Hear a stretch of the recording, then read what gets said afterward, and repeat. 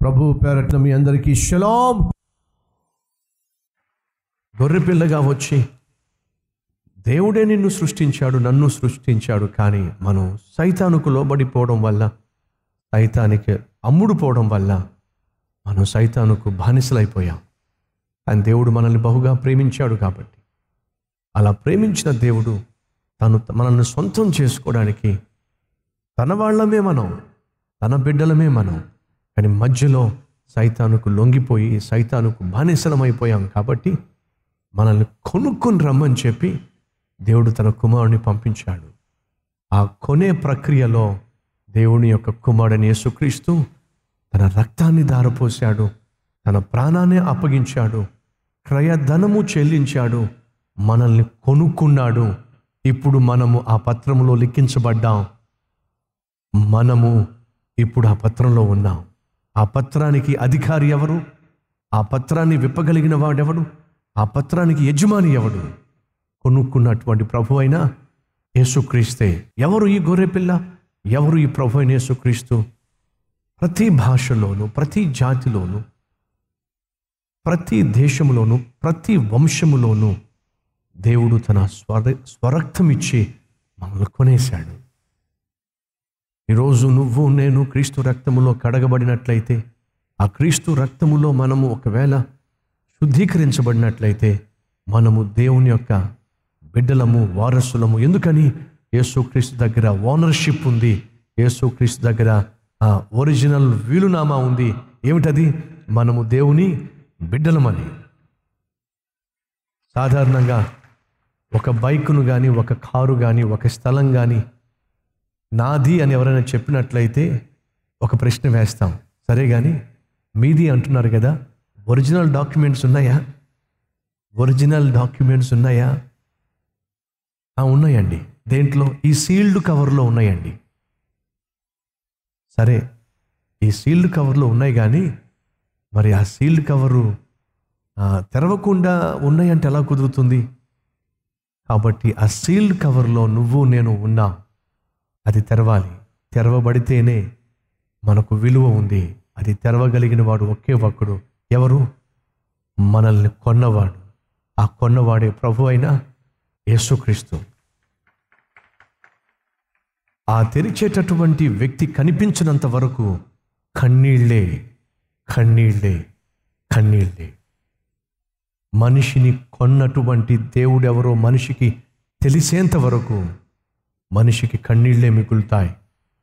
ఎప్పుడైతే కొన్నటువంటి దేవుడెవరో ఆ ఆ ప ఆ ముద్రను తెరవగలిగినటువంటి లోకరక్షకుడు ఎవరో యోహానుకు తెలిసినప్పుడు ఆ పరలోకంలో వినిపించింది ఏమిటి? స్థుతిగానాలు స్థుతి గీతాలు సంబరాలు వినిపించినాయి.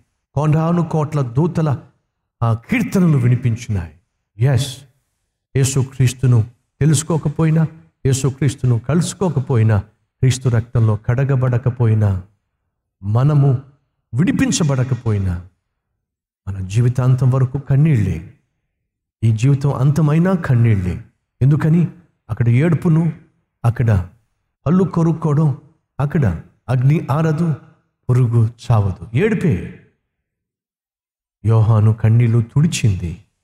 ఆ గొర్రెపిల్ల. ఏ గొర్రె పిల్ల ఏ గొర్రె పిల్ల అయితే తన స్వరక్తం ఇచ్చి ప్రతి మనిషిని కొనుక్కుందో ఆ గొర్రె పిల్లే ఆ గొర్రె పిల్లే ప్రభు అయిన యేసుక్రీస్తు. ఆ గొర్రె పిల్లను సొంత రక్షకునిగా అంగీకరించిన మనమందరం కూడా ధన్యులము. ఎందుకని? మన పేర్లు ఆ జీవగ్రంథంలో లిఖించబడి ఉన్నాయి. ఆ వీలునామాలో మన పేర్లు కూడా ఉన్నాయి. ఆ వీలునామాలో మన పేర్లు ఉన్నట్లయితే మనము వారసులము మన పేరు లేకపోయినట్లయితే మనము అపరిచితులము. క్రీస్తు వీలునామాలో నీ పేరు నా పేరు ఉన్నది. ఎందుకని? మనము ఆయన వారసులము పరలోకానికి వారసులము. యేసు కలిగి ఉన్న సమస్తానికి మనము వారసులము. ఎలా తెలుసు? ఆ వీలునామాలో దేవుడు నీ పేరు నా పేరు లిఖించాడు కాబట్టి క్రీస్తు కలిగి ఉన్న సమస్తానికి వారసులం అయితే క్రీస్తు పరలోకాన్ని కలిగి ఉన్నాడు. ఆ పరలోకానికి మనం వారసులం కావాలంటే నువ్వు క్రీస్తు కుమారునిగా కుమార్తెగా నీ జీవితాన్ని అప్పగించాలి. కాబట్టి బైబిల్ సెలవిస్తుంది ఎందరైతే క్రీస్తును అంగీకరిస్తారో వారందరినీ కూడా దేవుడు ఏం చేశాడు? వారసులుగా చేసేశాడు. మనం క్రీస్తును అంగీకరిస్తే పరలోకంలో ఆయన కలిగి ఉన్న సమస్తానికి వారసులం అవుతాం వారసులమైనట్లయితే జీవగ్రంథంలో మన పేర్లు లెక్కించబడతాయి ఆ వీలునామాలో మన పేర్లున్నట్లయితే క్రీస్తు కలిగి ఉన్న సమస్తానికి వారసులము. అడుగుతున్నాను. వారసునిగా వారసురాలుగా ఉండాలని ఆశపడుతున్నావా? అయితే ఈరోజే క్రీస్తును సొంత రక్షకునిగా అంగీకరించు. నీ పాత రోత జీవితాన్ని విడిచిపెట్టు. ఎందుకని? ధనవంతులు బలవంతులు గొప్ప గొప్ప రాజులు సామాన్యులు సామంతులు వీళ్ళందరూ కూడా ఆనాడు ఏడుస్తున్నారు. ఉగ్రత దినం వచ్చినప్పుడు కన్నీళ్ళు కారుస్తున్నారు ప్రలాపిస్తున్నారు. కారణం? వారు క్రీస్తును అంగీకరించలేదు కాబట్టి. క్రీస్తును అంగీకరించక నరకంలో కాలిపోయే వారిగా మిగిలిపోతారో ఆ క్రీస్తును అంగీకరించి వారసులుగా పరలోకంలో నిత్యము జీవిస్తారో ఈరోజు మీరు తీసుకునే తీర్మానం మీద ఆధారపడి ఉంది. ప్రార్థన చేద్దాం. పరిశుద్ధుడు అయిన తండ్రి నీ ఒక్కడివే మమ్ములను వెలపెట్టి కొనుక్కున్నావు.